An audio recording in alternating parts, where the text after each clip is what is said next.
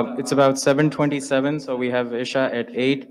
Uh, I'll turn the mic over to Dr. Abu Zayd next. If he can say a few words, then we'll go uh, across the table. بسم الله الرحمن الرحيم الحمد لله رب العالمين وصلى الله وسلم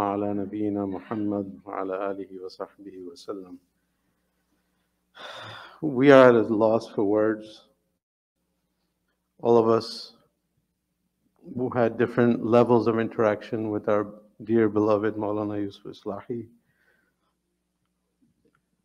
All we can say is, إن العين لتدمع وإن القلب لا يحزن ولا نقول إلا ما يرضى ربنا. The eyes, they shed tears. The hearts, they grieve. But we will only say what Allah is pleased with. Our dear beloved Maulana Islahi, my interaction with him goes back to 1978 when he first came to the US. And I was a child, and not a very good child, I was one of the more mischievous kids. And um, my, my dear friend Sammy knows me pretty well from those times. Sheikh Islahi was a household figure for us. So for some of us, we were born into his presence. He wasn't someone who came to us later and joined the communities. So my entire childhood, um, he was always a presence in our home, in our programs, in the early uh, programs of ICNA, Islamic Circle of North America. So my interaction with him was more like a family member, a guide, a mentor. I did not read his books. In those days, the books were in Urdu, and I'm one of those bad second generation kids. My Urdu is not so good. Um, some of his books became translated later on, and we did learn from them. But I learned tremendously from his mannerisms, his presence, his aura. You know, you can learn from someone who writes a book, but you can also learn from someone in all of his interaction outside of the classroom, outside of the lectures. And I believe I'm not alone in saying that so many people benefited from his personality, his warmth, um, the way he conducted himself. Um, and over the years, you know, he was someone who gave us advice. He was someone who scolded me a lot. I got in trouble with him.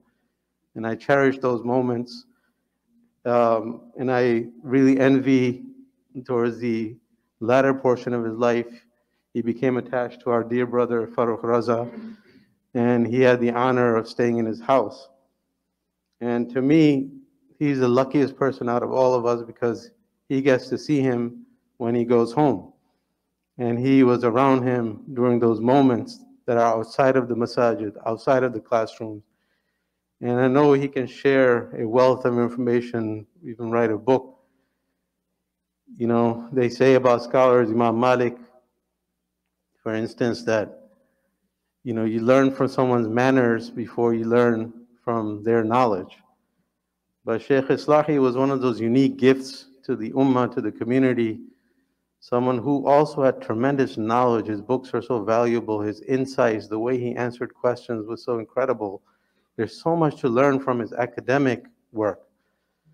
But at the same time, his work outside of the classroom, his sense of humor, his warmth, his ability to connect with children, with, with women, with men, with every type of person is really unmatched. And there are very few people in the world that you can find that, that are like that.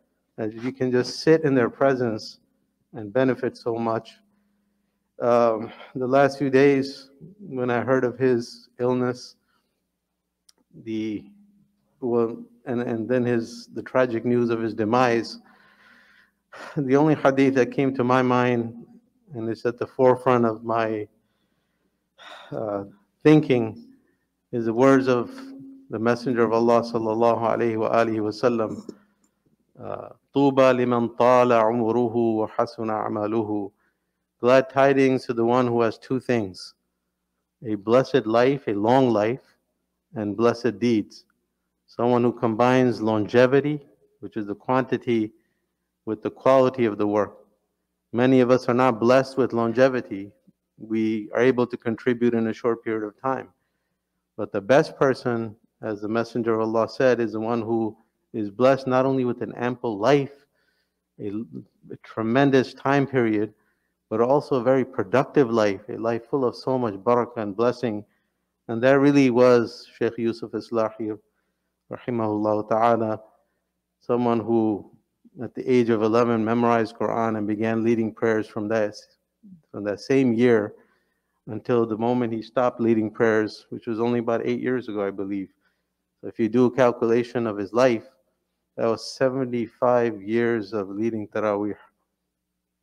Not 30, 40, 50, 75 years of finishing the Quran every year and doing tafsir and delving into the meanings of the Quran. And his books, we always quote, I've, since I was a child, I've been reading that he wrote 60 books. He's been writing nonstop. So I believe his, his, his books are more than 100 now, if you include all the pamphlets. So look at the incredible barakah Allah placed in his academic work as well. And these books, at some point, they were the most widely read books in the Urdu language in the 80s and 70s. Um, and there really wasn't books that reached a mass level audience. And then not only that, there's so many aspects of his life. If you just open the door, look at his involvement in the masajid and communities. Can you think of any other person that traveled to almost every major city in North America and that had a role in the founding of so many masajid, from the masjid we're sitting in now to so many other major masajid. Not only was he instrumental in founding those masajid, but he was regularly visiting those masajid and had the chance of touring with him uh, a number of times everywhere he went in different states, whether it's California or Texas or Florida. He visited masajid and people knew him for decades. He knew their children, he knew all of these communities. He had an intimate link with these communities. We have trouble connecting with one community. This was a man Allah blessed to have an impact and a connection a real and sincere connection with thousands of people in so many different communities.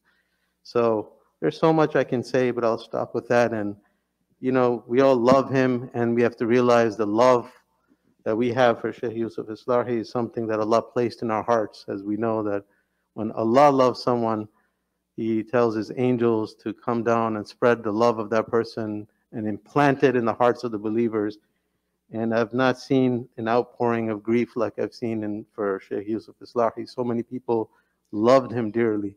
So many people had that connection. So many people considered him one of their own, their own family members.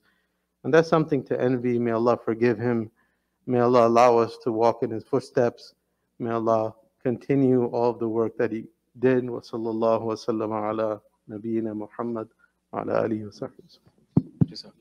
Sheikh Jawad. Sheikh Jawad. Oh, Imam